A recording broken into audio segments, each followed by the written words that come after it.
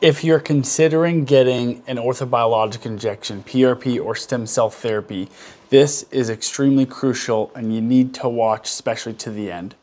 So, there is a big boom lately in orthobiologics platelet rich plasma, platelet lysate, A2M, bone marrow, and adipose stem cell therapy, and all of this is fantastic. But what you have to remember is that not all treatments are going to be the same, not all providers are going to be the same. Now that we have good data and good literature, especially in things like knee osteoarthritis, it is very clear that specific protocols and specific dosing are required in order to have a high chance of seeing the positive results that we can see. And so what sometimes happens is, let's say one of you is watching my videos and you hear that uh, platelet-rich plasma can be beneficial for knee osteoarthritis. So you go and you research online someone local who does platelet rich plasma and you just go see them and you don't see a response.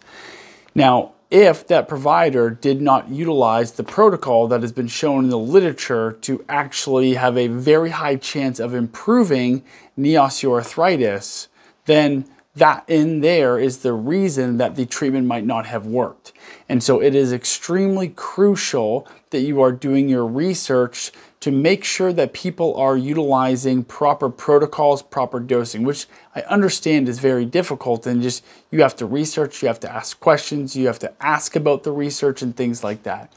And so as an example for the knee osteoarthritis, the research shows that a minimum of 5 billion platelets needs to be delivered inside the knee joint in order for that to have a high chance of success at helping with knee osteoarthritis a lot of the top tier clinics, we are actually aiming closer towards 10 billion based on another level one study that showed that 10 billion platelets provided a very good outcome. And so if someone is not tracking their PRP data, if they don't know how much PRP and how many platelets they're putting inside that joint, then you might only get 2 billion platelets inside your knee joint, and that is not going to be sufficient. So please remember when you are doing your research that not all PRP clinics, not all providers are the same, and you want to make sure that the clinic you're working with is up to date on the current literature so that way you are getting the proper protocols.